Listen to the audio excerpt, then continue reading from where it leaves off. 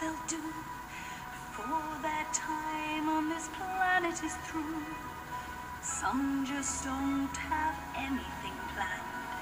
They hide their hopes and their heads in the sand. Now I don't say who is wrong, who is right, but if by chance you are here for the night, then all I need is an hour or two to tell the tale of a dreamer like you. We all dream a lot, some are lucky, some are not. But if you think it, want it, dream it, then it's real. You are what you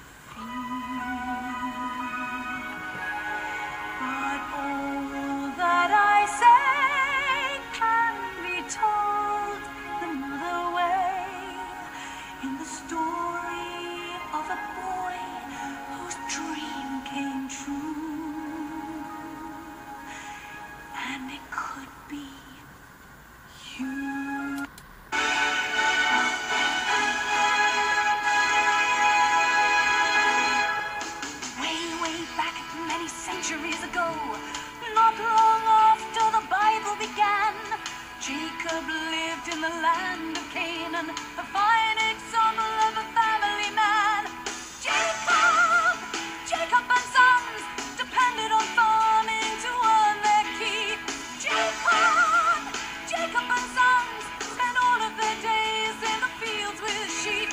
Jacob was the founder of a whole new nation, thanks to the number of children he had. He was also known as Israel, but most of the time, and his wives